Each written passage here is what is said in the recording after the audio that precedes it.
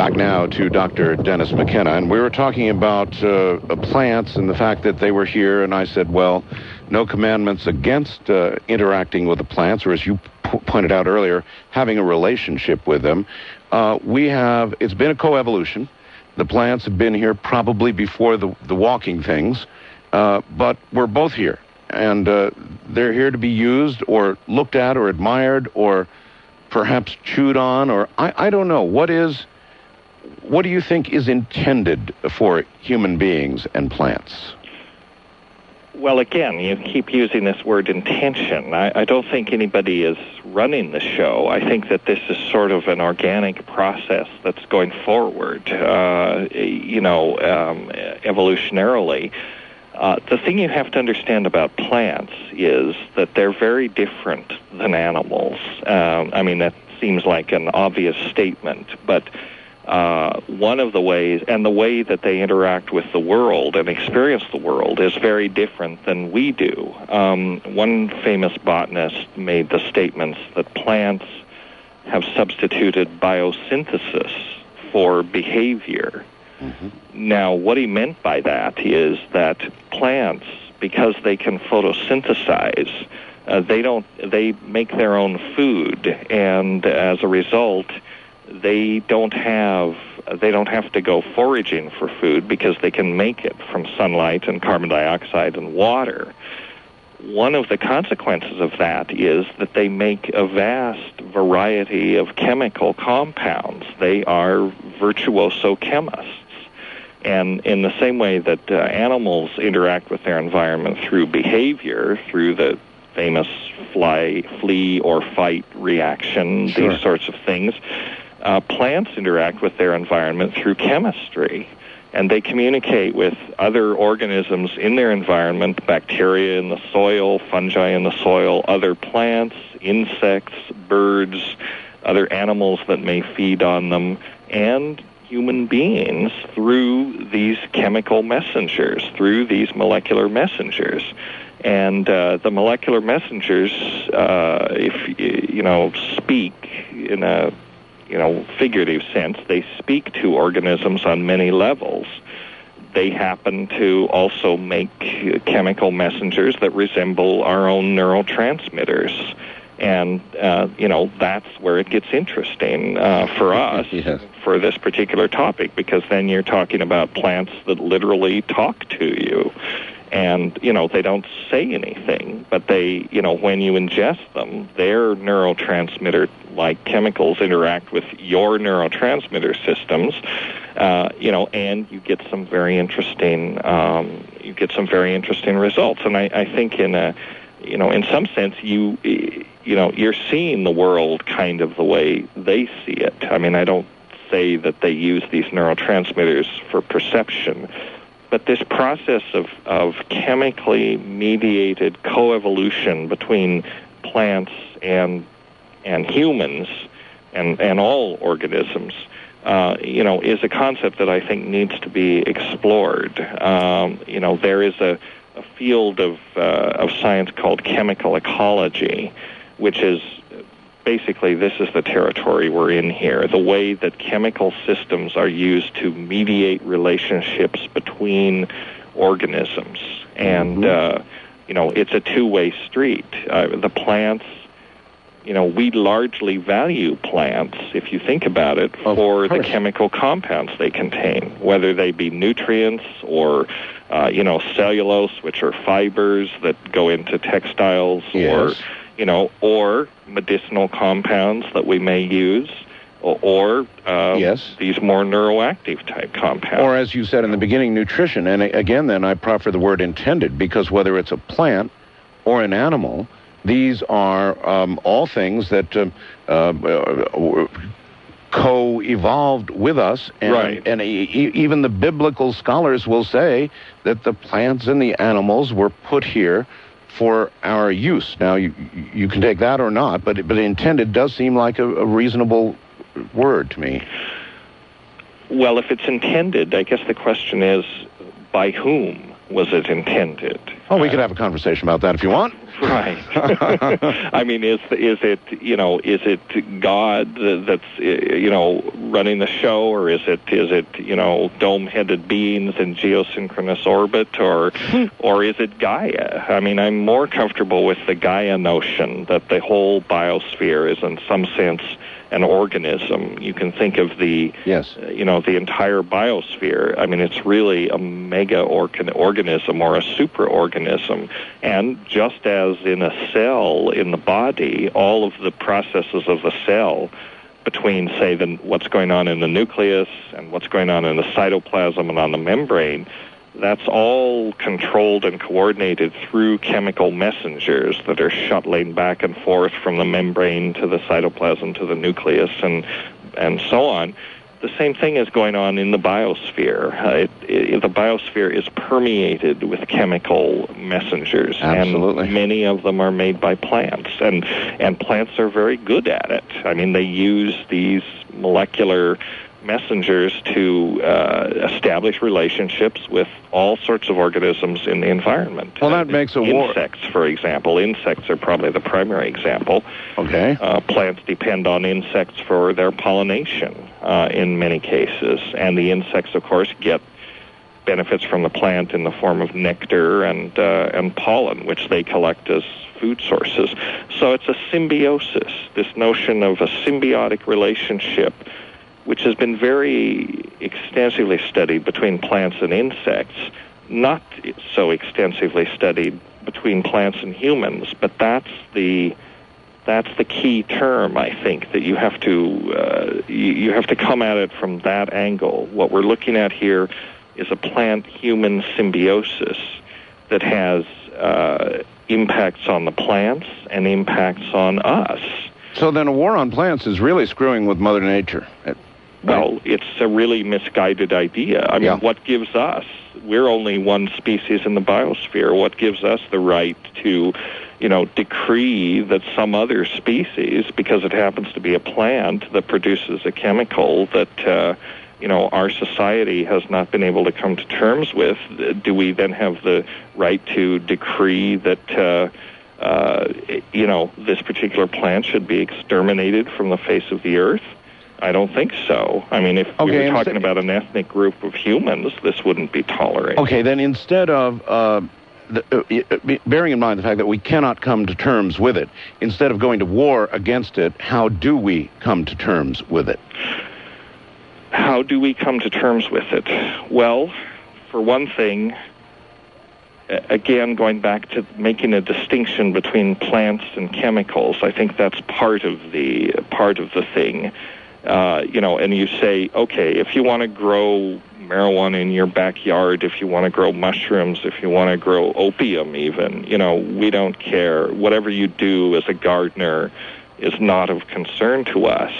We're going to focus on the harder drugs, the drugs where there have to be infrastructures of of creation and distribution, and you have to have you know that's one aspect of it. And then the other aspect of it is simply education. I think you have to give people the tools to make informed choices about, number one, whether to use drugs, number two, if the answer to number one is yes, I want to use drugs, the second question is which drugs are you going to use? Mm-hmm. And the third question is how are you going to use them? Mm-hmm. You know, and this is the problem with the war on drugs and the whole uh, the whole dialogue is there's this big scary category called drugs. You know that all things are put into. Well, there are drugs and there are drugs. There are many different types of drugs, and it seems that the you know the drugs of the that you know the the drug warriors have set up this big you know scary bugaboo called drugs but of course they don't include in that you know the drugs that they happen to favor which are you know tobacco alcohol these things are also drugs. Sure they are. So I think we have to have a more rational dialogue about the subject and we have to stop scaring people and and try to give them you know the tools to make informed decisions. It all comes down to education. And it's like saying, well, you know, you don't have to use drugs to have a full life and, and to have a completely fulfilled life. You know, if you make that choice, fine. If you do choose to use substances, know, you know, be careful about which relationships you form with these substances and the circumstances under which you use them. It's no different than forming relationships with people, you know. And Andrew Weil said all this years ago in his book The Natural Mind. I mean, nobody, you know, nobody listened then, nobody's listening now, but that is the solution. You know, the I mean, you know, nobody wants their kids to go out and get messed up with drugs. Uh, uh, you know, and but the key thing is, uh, you know, if if you promulgate what is essentially misinformation, I mean, let's not put too fine a point on it. Let's call it lies. Kids are not stupid. They're going to find out, mm. and then, mm. you know, they will disregard what you say. So they say, well, you know, you lied about marijuana, so you must be lying about heroin. Been saying that for years. And they've been saying that for years. Yeah, nothing Why not have a reasonable uh, debate? I know. I know. I know. I, I nothing uh, through the years has made me angrier than the lies that are told about marijuana because, of course, they then cause the young people to uh, just go right on up the chain, and before you know it, uh, uh, the cops put them in the back of a car with, with crack cocaine, and, and off they go, part of the system, in jail. Yes, that's right. I mean, the, the laws that are designed to control the drug problem are having a worse impact than the problem itself. Mm-hmm. I think Jimmy Carter said this. If that's the case, then we need to rethink this whole dialogue.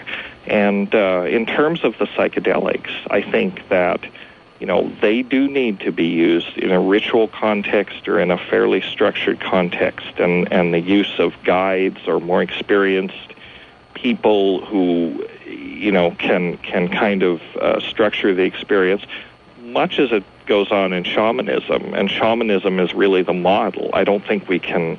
You know, I don't think we can reproduce it, but I think we can take a few pages from that book and try and implement it. And I can envision you know, in a more rational society, uh, a situation where there would be a place or there would be a center where one could go and have these experiences, and it would be legal and it would be. Uh, you know, it would be beneficial to people. Uh, we are not now that rational, nor are we even close. Uh, no. Uh, how far in the future, if you can just sort of stand back and observe uh, our progression socially, how, how far in the future do you envision something like this might be a reality? Well, it's hard to say. I mean, it's it's it's really it's really very hard to say because I don't see.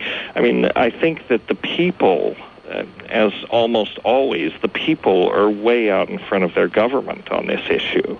You know, most people feel that marijuana, that medical marijuana, for example, should be available to people that need it, to people that have diseases or chronic problems that, excuse me, that, that this could help.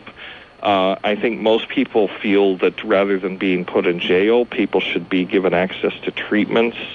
Uh, you know, as their first option, there have been propositions passed in California to this effect and a couple of other states. So the people have a much more reasonable approach uh, to the problem than the government does.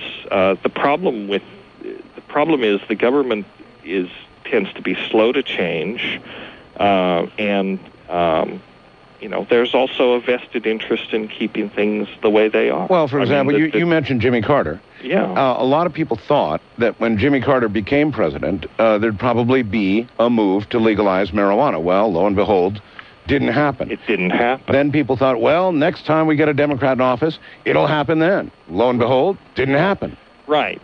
Because again, I think this is a this is a function of the fact that it's very hard for uh, politicians to come out on this issue. Uh, you know, even if they do feel that it's misguided, anytime you make a statement that is, uh, you know, in the least perceived as being pro uh, pro-drug, you're vilified. I know. Uh, you know, this is the problem, and and politicians as a group are not a particularly brave, brave right. bunch of people. I mean, their decisions are based on. Uh, you know what they think is going to get them reelected, and there is such a vocal uh, anti-drug majority or minority. Actually, I think it is a minority, but they're very vocal.